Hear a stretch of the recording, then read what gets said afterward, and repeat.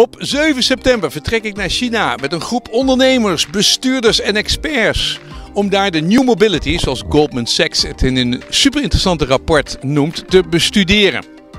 We hebben het dan over alles rondom EV's, LSEV's, de low-speed EV's, autonomous rijden, ridesharing, Didi, de Uber van China en micromobiliteit, de elektrische steps, fietsen en scooters die gigantisch aanwezig zijn.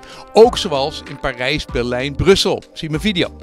We gaan samen met onze partner het Shenzhen Open Innovatie Lab. Shenzhen is natuurlijk Silicon Valley van China, het gebied waar alles ongeveer wordt gemaakt wat wij gebruiken en waar we de grote EV's en batterijenfabrieken zoals BYD Build Your Dream bezoeken. En dan gaan we via het LSEV-paradijs Shuangjiang tot Beijing, het Industrie Policy Mecca. En dat alles in acht geconcentreerde dagen.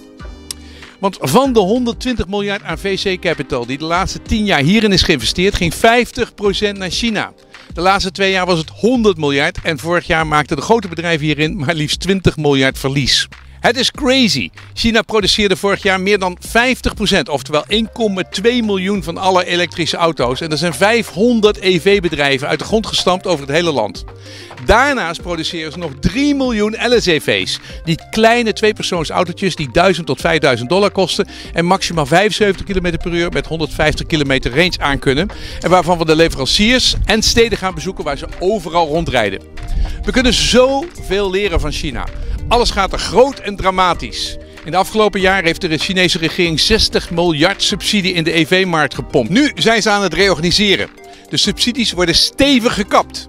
Van de 10.000 dollar per auto blijft onder de 250 kilometer range niets over. En degenen die 400 kilometer of meer range hebben, worden met 50% gekut.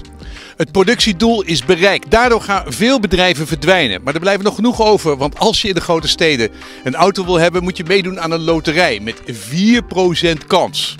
En met een EV krijg je gegarandeerd een nummerbord.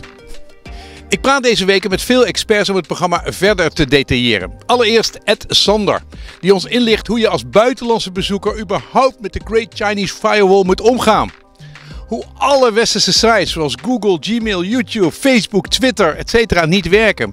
Hoe je met het WeChat-fenomeen moet omgaan. Welke VPN je nodig hebt. Hoe we kunnen betalen voor transport en retail. Hoe we een simkaart kunnen aanschaffen. En wie je kunt vertrouwen. Niets is eenvoudig.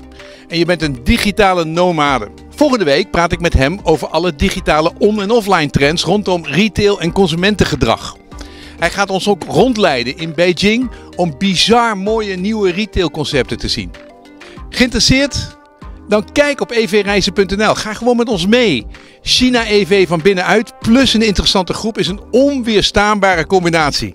Tot volgende week.